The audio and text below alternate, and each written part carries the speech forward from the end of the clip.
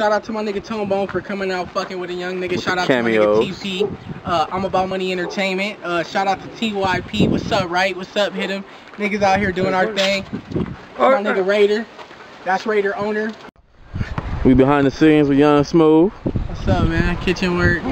You know what it is. Just trying to do my thing. Uh, shout out to everybody, man. Shout out to your girl.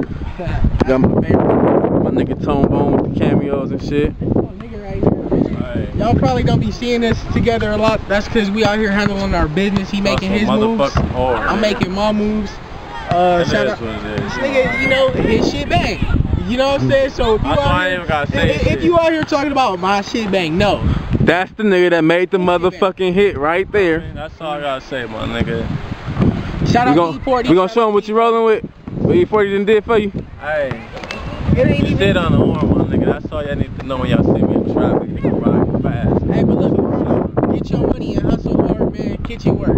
A lot of people ask me, what is kitchen work? Why do you say kitchen work? Well, kitchen work is because I started recording inside my mama's kitchen.